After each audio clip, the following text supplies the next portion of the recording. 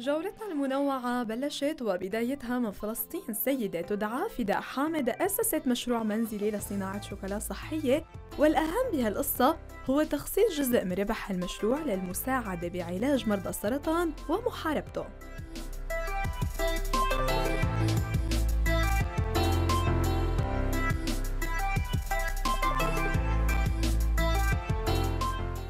ومن فلسطين للأردن. فنان يلفت أنظار المارة بأعماله. أحمد النشمي بيحول قطع الخداوات من خلال إعادة تدويرها لقطع فنية مبهرة بتزين أماكن مختلفة بالمدينة.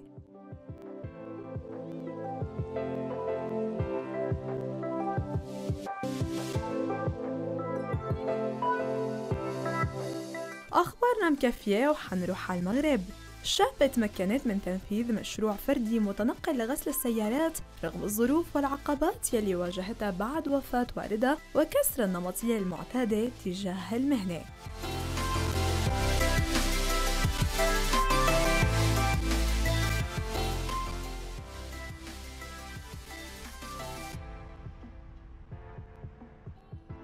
وبجولتنا الأخيرة حنحكي عن تحديث إشارات ضوئية بمدينة شيكاغو بإشارات صوتية مسموعة مخصصة للمكفوفين لتساعدهم على عبور الطرقات المزدحمة بسلامة وأمان.